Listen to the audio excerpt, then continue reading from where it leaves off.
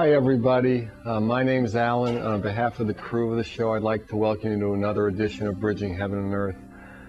I don't know about you, what your week was like, but this has been a very odd and strange week for me. There's been just very odd things happening. The culminating, I get home one day from going to this very strange meeting for me, and then I get home and I get a call on the phone that a friend of mine who has been a teacher of the blind for like 20 years, has lived in Santa Monica for about 25, is married, has no record or anything, is in jail for armed robbery.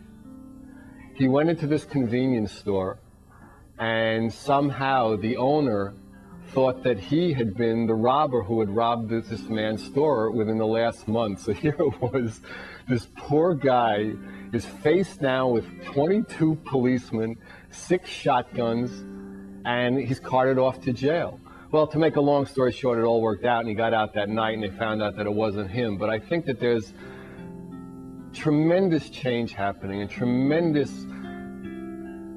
power and glory now, but but parts of the duality are going to come out in terms of of very strange occurrences. And tonight, I think we have a chance to really come home, to really come into peace, into a state of of satisfaction and consciousness. Our guests tonight are truly extraordinary women. Uh, my experience with them, both of them, I haven't known them too long, but after hearing their albums and reading their books and hearing their tapes, that these people are coming into their into their full power with real grace and real beauty, and, and more important to me, a real humbleness and a real sensitivity to the to the oneness that that can be experienced here. Uh, we have Judith Orloff, who's written the very well-known book, uh, probably interna- an international bestseller, Second Sight, who's a psychic and a psychiatrist and a, a, the author of that book. And it is, although I'm not really a reader of books generally, when I started this book, it really struck me as a very, very beautiful experience. And what you can hear behind me is Lorin Grean, who is a harpist and a singer who also has a new album out, uh, Hand Woven, that I understand is in the top 10 of the New Age uh, list. So, but more important is the energy and the vibration that, that these people, in their, in their expression of their love and their talent, the vibration of compassion and love that they put forth is what, what really inspires the crew and, and myself to continue to do these shows. So I think we're in for an extraordinary, extraordinary evening tonight. So uh, join me as we usually do at this time to set a, a tone and a mood for the show in, in, a short meditation. If people who know how to do a meditation technique, please join me with it. Otherwise, if you don't know it, just try to follow your breath for just a little while if you want to close your eyes, if not, usually we put on some special effects. There's neat stuff looking behind me like something's happening to me. So let's get on with it. Please join me. Thank you.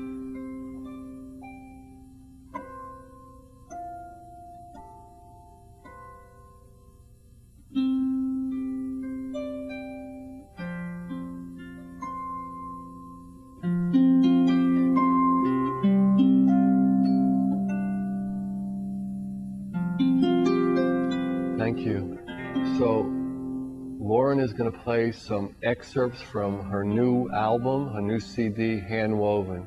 Whenever you're ready, Lorin.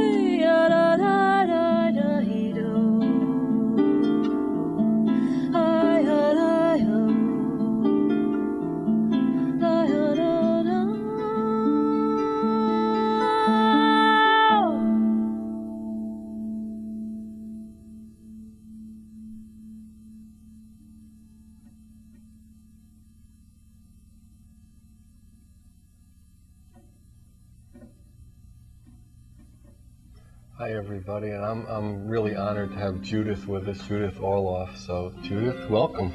Oh, thank you. It's great to be here.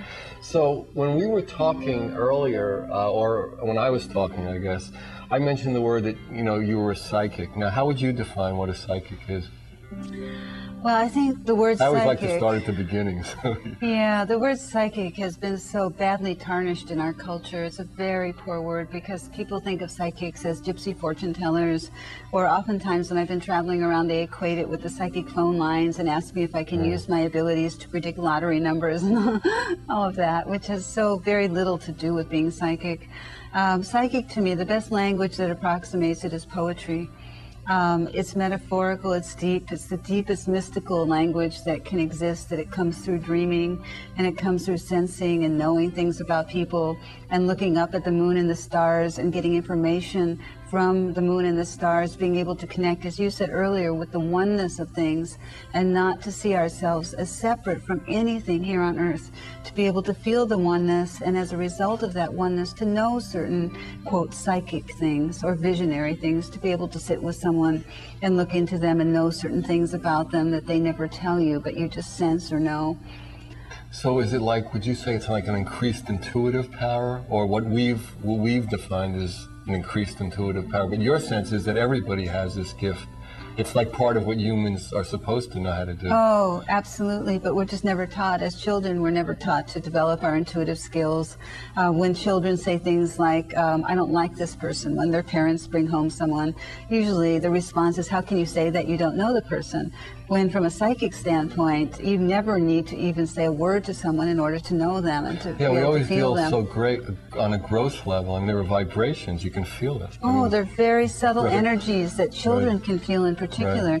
And so I've done a lot of work um, with children and their parents in terms of educating them because if it started very young, if children really learn to appreciate the psychic aspects of themselves, then they won't run into the same problems that I ran into yeah, you had growing up. difficulty as a child. I mean, you had to repress it, and then you came into it, and then you went to med school and repressed it. Yes, so you've had like an yes, up and down kind of. Oh, why don't you just, you know, kind of fill people in? Because your history was interesting to me. You know. Yeah, well, I grew up as a psychic child in Beverly Hills, and I had two physician parents who really didn't understand anything psychic, and I would make all these kinds of negative predictions. I would predict things like deaths or illnesses or earthquakes, and it was all quite negative. And um, I didn't realize at that point that the reason I was picking up negative things was that simply in the beginning, on a psychic level, it's a louder signal.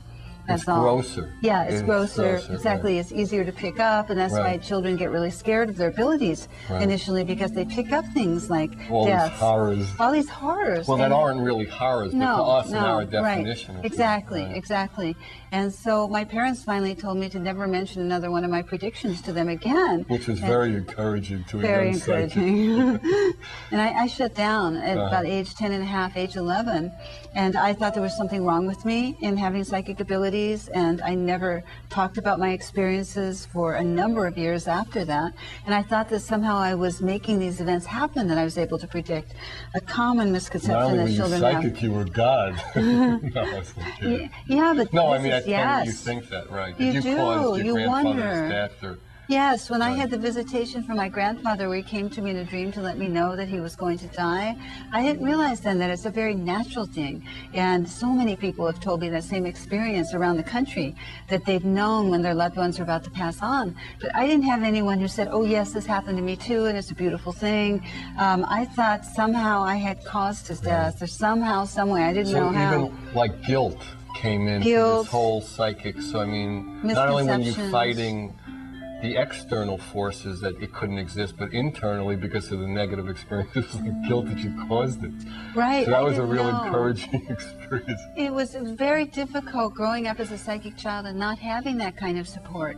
Um, and it took a number of years after that until I found mentors and guides who really took my hand and guided me through and said, This is not only a wonderful thing, you're very talented in this and you can use it to help people, you can use it to heal. Right. And that's the purpose for me of developing psychically. As a psychiatrist and as a psychic, I use my abilities for love and service, period. Right. That's the only reason that I use my abilities. And for that reason, the kind of psychic information that comes through is oriented towards my healing work as a psychiatrist or in terms of service.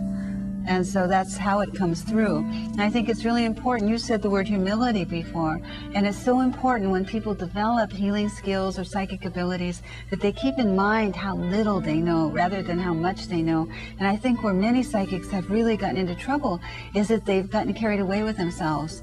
And the psychic Ego is a very difficult thing. very difficult. It- it's very it's very very difficult and people get carried away with themselves they begin to think of how much they do know and then it's all over then you you you You know, it's interesting because in my experience, it's completely opposite. The more you experience, the, you know, it's like further up and further in. I mean, Yes, it's like yes. the more you get in, it's like, well, you know, it's just you're smaller and smaller. I mean, ultimately, we want to disappear into that.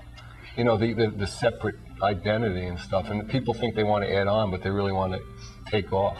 Yes The, identities and things. Yes, yes. Well, we're so small, but we're filled with so much light. And the closer we get to our own the- psyche, right. the, the lighter we Right. become. And it's about honing our spirits, getting closer to that light, and developing psychically. As you said before, I believe it's something everyone can do. And what it is to me, is like lifting veils before the face and before the eyes so that we can see more clearly. And as those veils are lifted, it's very hard to look back and realize how little we knew before that um, because things become clearer and beauty and love becomes a lot clearer and healing becomes clearer. You can look at people and actually see them and not see them as if from a distance. I believe that most people are asleep because they're not open to this kind of perception in an everyday When you say way. see them, I mean, do you mean like you can see? See, explain what you mean by when you say you could see, because we had the Chotmuls on, and they have a certain thing when they, you know, seeing in the Carlos Castaneda tradition. Oh, yes, yes. So, I mean, do you mean it in that similar way, or just describe it the way you mean it? Um, actually becoming the person to see how they feel, to see how they view uh, the world, to become them and understand it from their perspective, to see who they really are as opposed to who they're presenting themselves to be on surface. And how would you would you see that like with your eyes, or would you like just know it? Well, how would you- Psychic perception is, is really interesting because you see with your eyes, but with so much more than your eyes. Mm-hmm. You can see with your energy field. You can see um, with your stomach. You can see with your heart. You can see Mm-hmm. with your throat. The various chakras, the centers of light that go down the midline of the body. Um, you can see through each chakra and begin to experience people on many, many different levels, and also begin to hear how they're perceiving the world and what's important to them. And for me, to, to sense their suffering. It's so important to be able to sense each of our suffering because everyone has it. Everyone has a cross. Every, everyone has suffering. That's the nature of being here on, Right, earth. on Earth. So that no matter what they're doing on the outside, the suffering puts it in perspective. And so you can see it with more compassion as a result. Right. Would you say that the, the really the first step in that is seeing that within yourself? Absolutely. Because you're your own yeah. experiment, the closest experiment Oh. you are. No, always to look inside of yourself with such compassion. And I know most people, myself included, have a tendency to beat ourselves up. That's just the way we were born, and that's the way we were raised. And part of the spiritual path is learning little by little not to do that, to gain more compassion. And by seeing psychically, you can see good reason for compassion because you can see the love and how pe- how hard people are trying to find themselves in this way. And once you can see that, all of their external Well, actions take on a different See, my stance. experience that way is that if you see it in yourself, you're no different. Oh, no different. That's right. So, I mean, the closest you can see it is within you. And, like, you know, I always express it as like I've been given, like, almost every gift in the world in some ways. And I'm still, in some ways, pathetic. So, I mean, how about everyone else? So, I mean, you know, it's like, and I have, and, it, and it's not because I haven't tried in a way, just because the nature of this experiment here on Earth. Because Oh, throughout yes. history, we've had like five people who everybody's to this day is, oh, Jesus, oh, Krishna, oh, Buddha. And everyone else, I mean, how could we have all been bad students? No, we are the real heroes. Right. Everyone is the hero. Everyone has that God quality in them. And the reason that I wrote my book was to say that I went on a certain path, and my path is no different than anyone else's. The psychic path is the same in many ways for all of us. And when one person goes through it, then it could be a little bit easier for the next person to go through. Right, like ants on a back Yeah. crossing a river, kind of. Yeah. Of course, some of us have to die to set the. But I mean, that's just the nature of like the human condition. Right, exactly. But we need to join together in psychic development and spiritual development and support one another. Absolutely. It's so important not to do it alone. You know, we've been talking about that a lot on the show and the recent shows, and you know about you know working together. That, Yes. You know, in my experience, what, what needs to be happen now is that working together has to be more important than each individual's vision. Mm-hmm. Because so often I'm getting this vision, I'm getting it because I'm psychic, I'm getting it because I'm channeling Sananda, I'm getting it because I'm channeling. So, I mean, how can you possibly come to a, a middle ground? But there has to be. And if mm-hmm. cooperation is really the key and mm-hmm. working together, Oh, then yeah. those things have to be, you know, kind of modified in a way. Oh, absolutely. And I think the more people develop psychically, the beautiful thing is that that loneliness that so many of us feel gets lifted because we can see that oneness in which we're all connected and we're not this unique being apart from everyone else. We experience it as Yes, right. yes, yes. But that psychic firsthand knowledge Right. that we are connected, everyone is connected, it helps that deep inner loneliness that many people feel lift. Would you say that that, that loneliness uh, completely lifts or it comes and goes? The deep oceanic kind Oh, of alienation right. that I used to feel as a Right. psychic That you weren't even you didn't belong here. No, that I didn't belong Okay. here, that I was an alien here on Earth and I belong somewhere else, that has lifted. Right, Of yeah. course, loneliness comes and goes, but that deep sense. yeah, I understand Yeah, that deep sense gets lifted when you feel how connected everything is. Yeah, that's what's really important for us to have that experience. Yes. So I think now, I mean, I guess you've been hearing Lorin playing behind us, but she's going to play a second song now, uh, Lonely Willow. Here's Lorin. The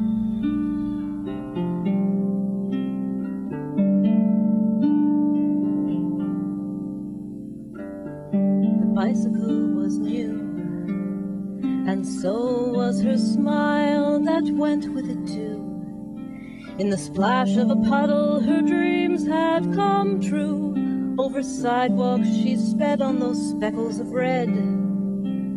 Or were they blue? The bicycle, it flew leaving lawns and grandmas and sadness behind. What a moment to love, what a day to be living. But when she returned to the the giving,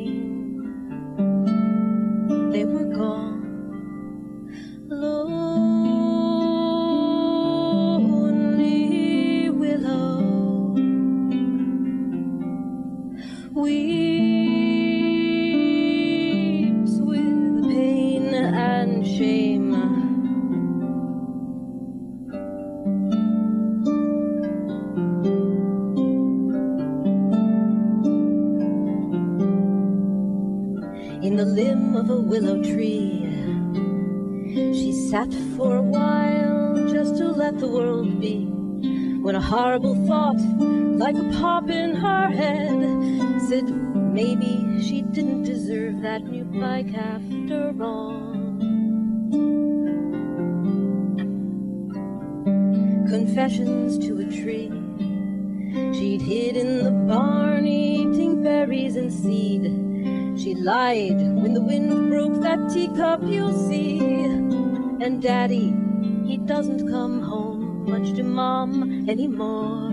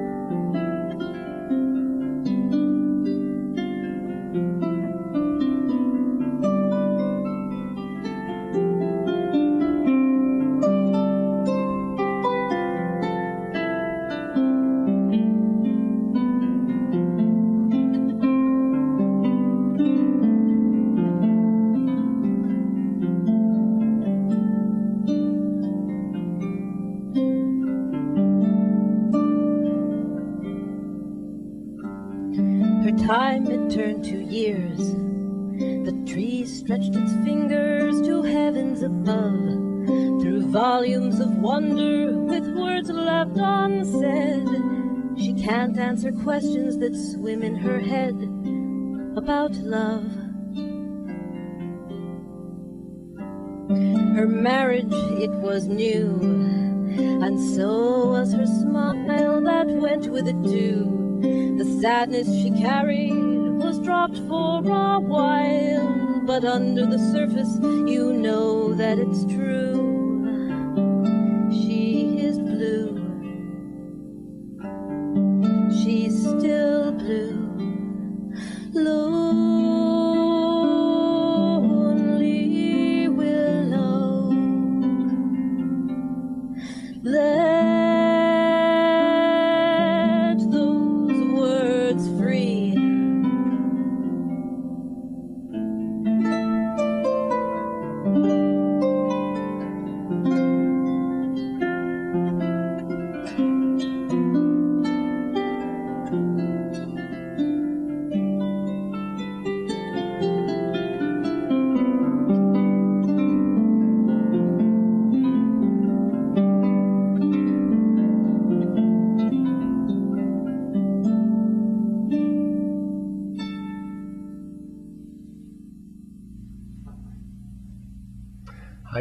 Back with Judith. So, when I was reading the book, the thing that was really interesting to me, the book's second sight, uh, was all your case histories. And now I hear that you're not going to be a practicing psychiatrist anymore. It kind of like made, is that not, did I make that up? No, that's not true. But you're traveling a lot, so I mean, your practice Yeah. is cut back a lot. Right? It's yeah, my practice is cut back, um, and I'm traveling a lot, doing teaching and workshops around the country. Um, and but what's interesting is that since Second Sight has come out, I have now over 3,000 people on my waiting list to come in my private practice, which to me just says That'll be a busy week. it's a very busy week, but it, it signals to me such a need around the country for people to be seen in this way, to be seen psychically and spiritually. And that's what many people are looking for in therapists now. And so thus the need for psychic therapists. And I think that's going to be the new wave in So are healthcare. you going out and teaching regular psychiatry? My brother's a psychiatrist. Uh-huh.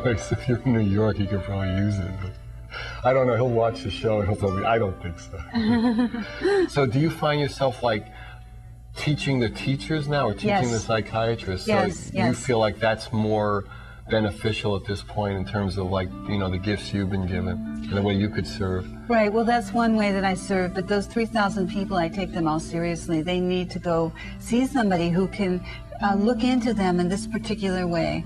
And so I'm beginning to train physicians and psychologists and MFCCs and body workers to begin to bring this perception into their work. It's such an incredibly beautiful sensitivity to weave into healing. And the fact that traditional doctors don't use it, I believe, is a travesty. And it's beyond me how a healer cannot be a seer. That it's such a natural wedding to bring together being a seer and being a healer. Well, how could a human not being, be a seer? So, I mean, you know. yes, yes.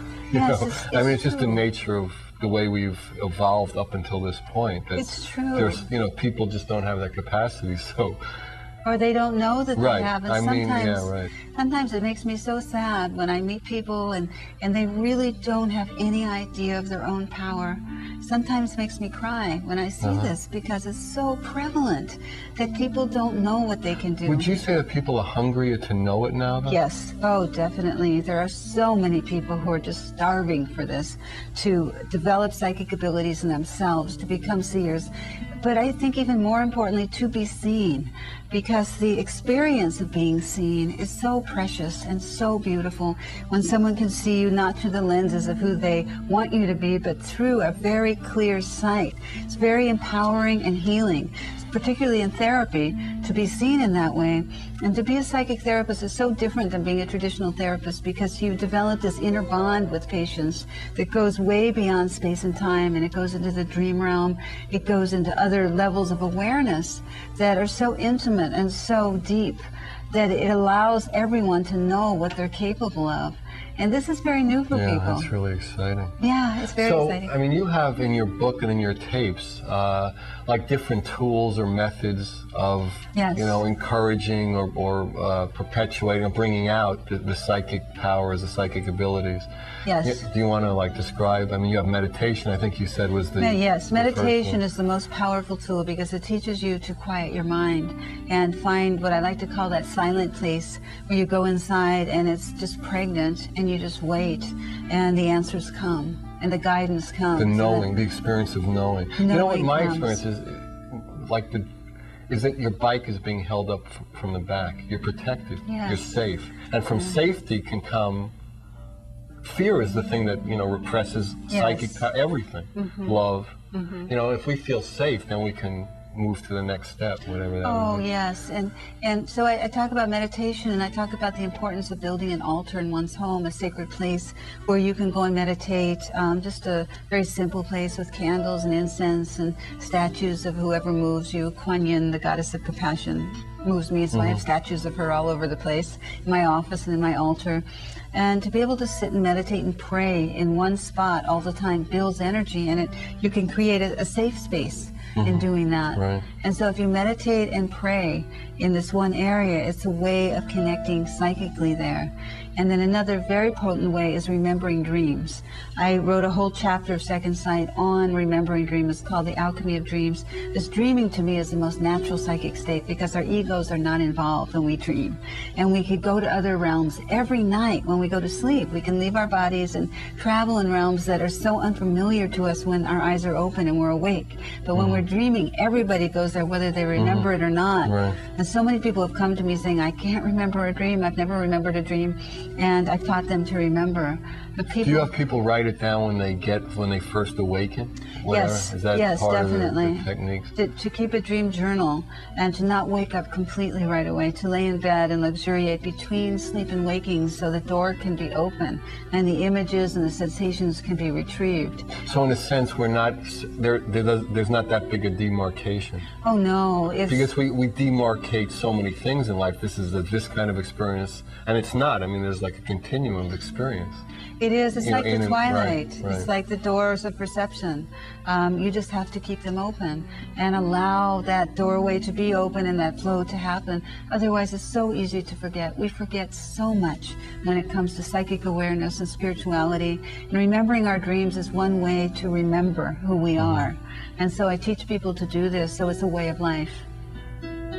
So and and so you have a prayer, meditation, uh, ritual, altar ritual. Do you have other rituals? I mean, ritual's another word that has like you know Oh, yes. funny connotations in a way. It does. You know, in this society, but but you mean rituals in the sense of, of a way to remember, either wanting to be conscious or being conscious. Exactly. It's all a way to remember. Right. However, we can remember who we are, the better. And I'm always sending my patients off doing rituals. There's one of my favorite ones is the Circle of Stones, where I send them to the beach on a full moon and have them build a circle of stones around them. And if they're very confused about something to put out to the universe, they want an answer to this and sit in the Yeah, middle you, of the you circle. had a beautiful example in the book of this Hawaiian model Yes, who did that and then decided to, to retire from what she was doing because she'd had enough, basically. I mean, Yes, not that it was had. bad, but just that she had had enough. Yes, it was not her true calling, Right. and she was unhappy, and she got clarity in the circle. It's about remembering, about getting clarity, about acting from that inner place of authority rather than wandering around and not really knowing what the right decision is. Ritual helps you to find clarity and helps you to And, remember. and why do you think it does that? How do you think it does that? It's a way of honing psychic ability and honing energy and being in reverence to the greater forces around us and invoking through that reverence guidance and going beyond the human mind to what is so far greater than that and allowing that gentleness and that love to come in and that clarity to help guide us. But we have to open up to that and we must ask for it. It will not come in and hit us over the head. Um, but if we go and we, we do a ritual, whatever moves us, and it can be a totally non-religious ritual or a religious ritual if that's what's moving to you. And each person knows what moves them. They can feel it inside of themselves. And they should never do a ritual by rote.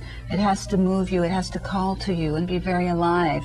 And so when you do it, it takes on an incredible life and it brings answers in ways that traditional psychotherapy can never bring answers. Because it's a very organic connection to nature, to the universe, to one's own soul. And, and plus the fact that it becomes yours. It becomes comes, yours, right? It's from within you. It's it's from within, absolutely. And so I train people in my psychiatric practice to do ritual, to do prayer, to meditate, to have an altar, to listen to their dreams, to be able to sense energy, to learn that energy is a reality, that we have these flesh and blood bodies, but we have these energy fields also that extend way beyond the body. And as psychics, we can sense energy. And even very simple exercises like going to a party, you might be talking to someone and they might seem like a perfectly nice person, but all of a sudden you get a headache or a stomach ache, Right. something like that. You have to wonder, what is that? And begin to trust your energetic perceptions of what's going on. Uh-huh. And to have friends and support supporters in your life around you whose energy you feel resonant with. Actually, the, in my experience, what what has you know, if somebody asked me what two things I thought would be most important in the spiritual path, I thought learning how to, I mean, meditate, not just sit, but actually have the Yes, experience of meditation, yes. and what I would call holy company. You know, being around people who are, you know, inspiring and encouraging and compassionate and understand the nature of the spiritual path. Oh, so when you fall and who doesn't fall, you know, Yes. anybody who thinks they can't fall, I mean, just, I mean, I always say back up from them because they're liable to explode at almost any moment. You know? Uh-huh, uh-huh. Yeah, so to have that kind of support, I mean, particularly on the psychic path, because there's so many people who put it down or have misconceptions about it or raise their eyebrows or make disparaging comments, that that's enough to really discourage people in the beginning from going forward. Because um, I, I wrote an article for McCall's magazine this year, and I received so many letters from people, and they were all telling me about their psychic experiences, and most of them and felt- never told their husband, right, their right, mother, right, yeah, right, for fear of being called right, crazy Right. And they just couldn't speak out about it, so they kept it a secret. And I'm Uh-huh. Right. convinced that psychic experiences are the most well-kept secret in this country. That people are having them all the time, but they don't talk to anyone. Right. And they well, don't, they don't know what to call them. I mean, they don't know Yeah, what to make of it. That's true. They you know, they're don't. supported enough to. That's true, and they don't talk to their therapists about it either. Right. Because they're afraid that their therapists will think they're crazy, and so they're in therapy talking Well, about the most them more intimate. pills. Yeah, more pills, but the most intimate them, right. aspects of their lives, but they won't talk about their psychic inner lives.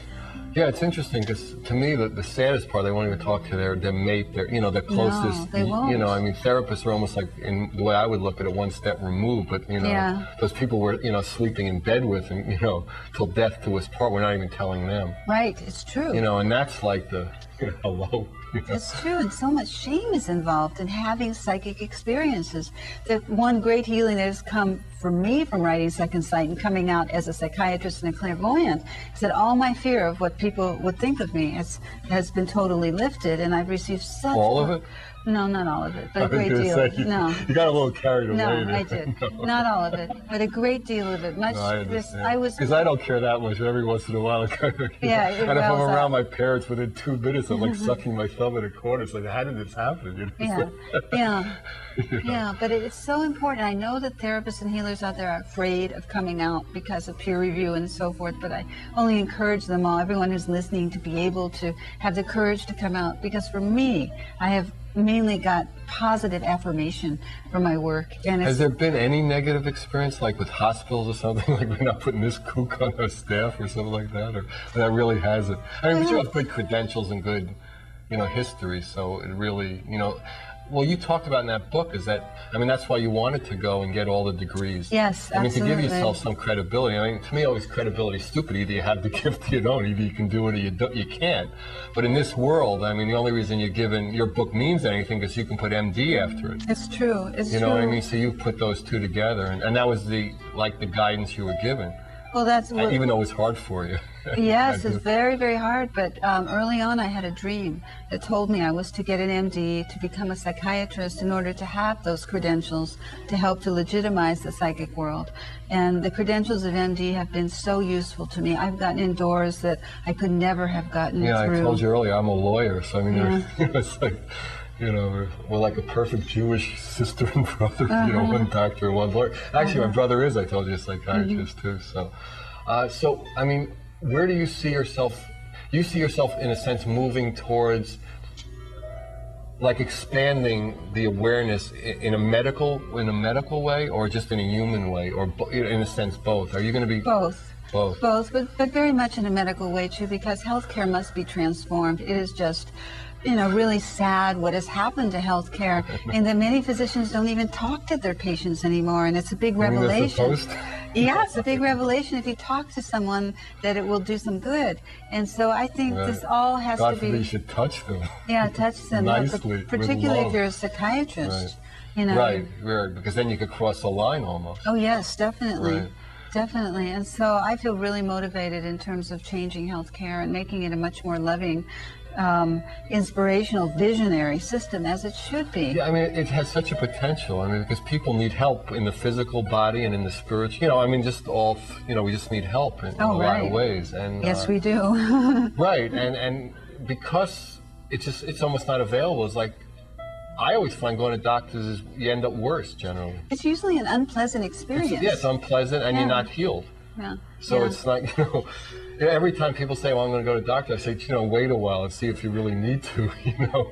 Yeah, but how sad that is. that Yeah, that's, absolutely. That it's come to that. And I, I think that's changing too. I've received so many letters from doctors who are just suffering tremendously in the healthcare system and that their experiences With the A- HMOs now, Yeah, that they- I mean, they're just yeah. horrid. There, yes, You know, the yes, it is. gatekeeper, and you know. It is, but also with their own spiritual and psychic experiences, they want to bring it more into the work, but they don't know how. And so um, I think doctors need to form networks, and, and they are.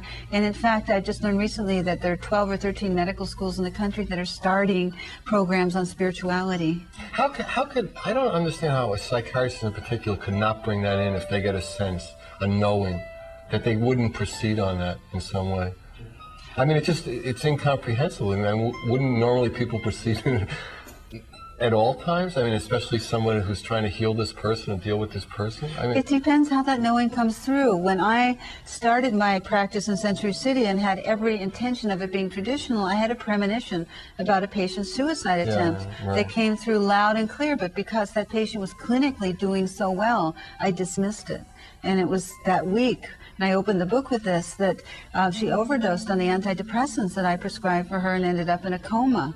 And so that was an example of why that I was really like a wake-up call for you. That like, was yeah, a huge wake up call, but I didn't listen. It was absolutely clear the premonition, but because clinically there was no evidence to support it, I dismissed it. so you're it. saying you just don't get people don't give enough weight yes, So it's like so far down there on the scale, you got to wait for it to actually happen because you can't trust it. It, it won't right. be given equal weight. Exactly. The trust is key. Trust, is that trust in it. Yes, physicians are never taught to trust these kinds of things. It's okay for them to have a hunch about something or a gut feeling, but when, when you have actual information that comes through that could be quite contrary to clinical evaluation, we're not taught to even look at that. It's, it's, it's you know, it's like for, for some reason from where I'm coming from, I don't know. I mean, actually, I was in New York recently. I felt like like Zirkle or some country bumpkin. I grew up there. I mean, but something of, you know, not to trust your instinct seems almost incomprehensible. I think doctors are, are taught to trust their intuition in general, but where I'm taking it is much more Right, specific, much more specific, and directly connected to spirituality and one's own spiritual uh, relationship to life. Mm-hmm. Um, and also to death, because I think fear of death um, permeates all of healthcare. Right. And from a psychic standpoint, it's quite clear that the spirit doesn't die, Right. that the body is is gone, but the spirit lives on. And if doctors could believe this and know this, they could work with terminally ill patients and help them way. cross over without that fear. So I know when I'm passing Well, it's the over, fear of the unknown. It's the fear of the unknown. They have no psychic foreknowledge of what's to occur when they die. And so when I when I pass over, I don't want someone who's afraid of death looking at me. I don't want them with you me. want them surrounding Nope, you. in I do room. not. All right, well, I think it's time for uh, Lorin uh, to play another song and sing for us, "The Gray Cat Cat's Night Prowl." So whenever you're ready, Lorin. It's a dark, dark evening. Cobblestone Street is just barely lit by a small moon shining through some rain clouds. From underneath a carriage steps a gray cat, beginning a mysterious night.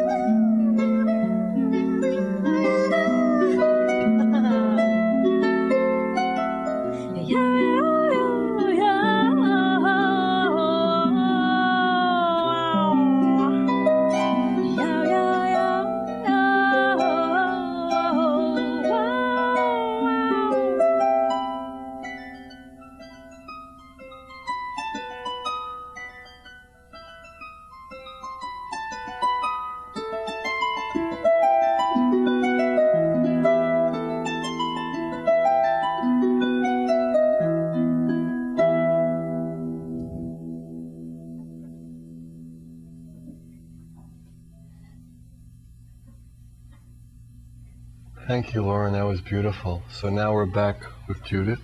Now, my experience, and from what I got from the book, is that the end result for you is like experiences of love and Yes. compassion as you walk through this this experience here on Earth. So, how would you describe that happening for you? Well, as I've been developing psychically, I feel like I've been getting closer and closer to that oneness that you were referring to before. And the nature of that oneness is love. The more you can feel it, the closer you get to it. You can begin to see it in everything. You see it in people's eyes, you see it in the ocean waves, you see it in the sunlight, you see it in animals, you see it in the sand, it's in the moon and the stars, it's everywhere. It permeates, it resonates. And you get more of an awareness of that love and you can live it more as a reality, not just as it means falling in love or being in love with a human being, but it goes way beyond that in terms of unconditional love. To be able to feel that for all things, no matter what you're going through. And it's true, when you're going through a crisis, it's hard to keep that going sometimes, but that's the spiritual challenge. And through meditating and through doing ritual and through altars and through dream work, that helps to substantiate that feeling of love so that when we go through the harder challenges of life, we can have it there. We're closer to the center. Yeah, we're closer so to the center. this- the the swings don't get so wide that Right. we're way out there. Exactly, and we can draw on it. We can have grounding as opposed to not cultivating psychically or spiritually, and then we're thrown into a crisis and we don't know what to do. Yeah, I used to, this person who was uh, a very fine teacher used to say, you don't want to practice meditation for the first time when you when the plane Right. going down. it's like it's a little late for that, you know. Right. So, so I mean that's why, like with your your your patients or your clients or whatever you call people, I always get that. Uh, your way of doing it is like to build this up as a as a consistent. But that's what their life is about in essence. So it's a psychic lifestyle. Right, it's right. not just about taking a workshop or being in therapy for a few months. It's not about that. It's about a way of being in life, of being open and finding that psychic voice inside. Not putting God in your life, but putting your life in God. And- Yeah. Right. Yeah, but learning how to tune into that psychic voice so you can look to it like it's your very best friend and you can get accurate information no matter where you are in life. Whether you're all alone somewhere or whether you have friends around you, it doesn't matter. You can go inside. And this is hard for people. It is so hard for people to realize how powerful they are.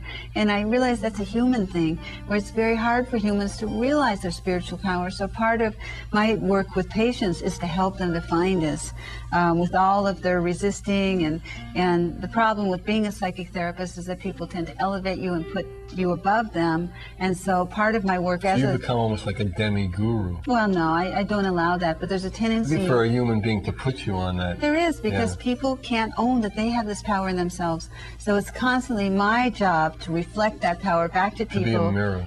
Over and over and it's it's hard work really because people will do anything to resist it and i know personally they know how much work i've had to do to come into a certain degree of acknowledgement of who i am it's very hard Well, you had to have a lot of experience of it. I mean, as an idea, it just, unless you experience it, it you know, it's like eating a, an orange. I mean, you know, people can describe what an orange, but until you experience your own power, your Yes. own glory, Yes. enough times, Enough times. that you're rubbed up against it enough that you you know you're the magnet. Yes yes You and it's- experience yourself it's magnetically. True. It's true, and it's a state of grace to be able to realize who we are and what we give off, the light that we emit, the, our capacity for love and compassion, and what we have to offer this life. is so important that people see this, and it's it's hard work to uh, be a catalyst to allow people to see this in themselves. But once they do, and that seed is planted, it grows into the most beautiful of flowers, and it continues on forever. But I see my job as a seed planter, and then the seeds will be able to blossom. But we all need tremendous support in finding our own power and developing psychically and developing spiritually, and to be reaffirmed time and again that what we experience is absolutely real. It's not a figment of our imagination, it's not some uh, weird permutation of who we are. is absolutely real. Our mystical experiences go far deeper than our minds ever do. We're just It's not just bigger. accustomed. It's bigger. It's bigger, and Yeah. we're not accustomed to validating. And so we need to have others validate these experiences and say, yes, this has happened to me too. And yes, this is an incredible thing you just went through. Instead of denouncing it, diminishing it, taking it away, explaining it away, all, all these things that happen in our culture. Definitely, we need to have that circle of support. And you imagine if you went to a physician who can really support you in this, in your psychic and spiritual growth. And it wasn't always a fight and a push-pull, technology versus spirit, that it could all be one.